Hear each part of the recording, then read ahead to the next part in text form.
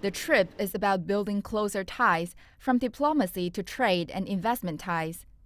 Some 150 company representatives from China will take part in this visit. The representatives cover many major fields such as finance, infrastructure, energy, and investments. Among them, two companies will sign on to invest in a major nuclear power plant being built in the United Kingdom. The British Finance Minister George Osborne wants to turn China from the UK's sixth largest trading partner into its second by 2025. That is as open to Chinese investment as the United Kingdom. You know, we, we welcome Chinese investment. There is huge amounts of Chinese investment coming into Britain at the moment. Indeed, we're attracting more investment than Germany, France, and Italy put together uh, into the UK. The UK was the first Western nation to sign up for the Asian Investment and Infrastructure Bank, and its goal is to be a major trading hub for trading the Chinese yuan.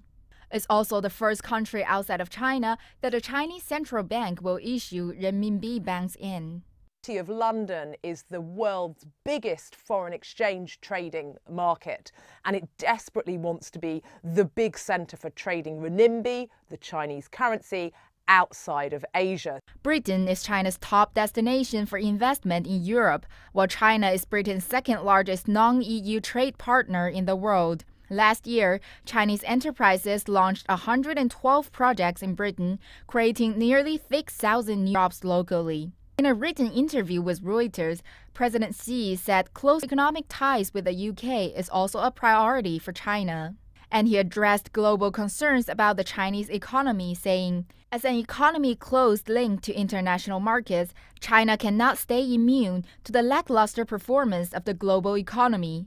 We do have concerns about the Chinese economy, and we are working hard to address them. We also worry about the sluggish world economy, which affects all countries, especially developing ones.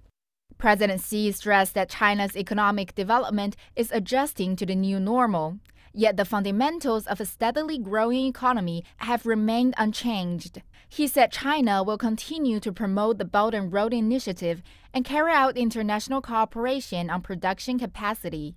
Both the Chinese and world economy stand to benefit in this process.